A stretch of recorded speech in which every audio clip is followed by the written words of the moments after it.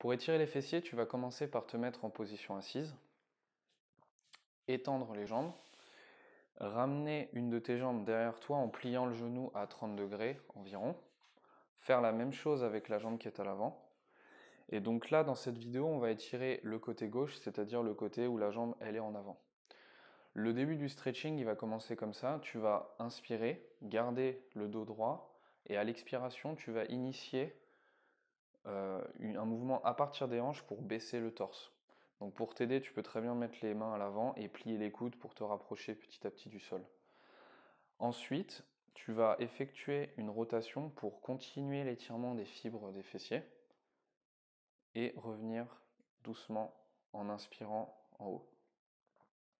Donc là, le cycle, c'est tu inspires pour revenir, tu expires pour ramener le torse vers le sol, et l'expiration, elle ne se finit que quand tu as fini ton cercle et avant de commencer euh, l'ascension pour remonter le torse.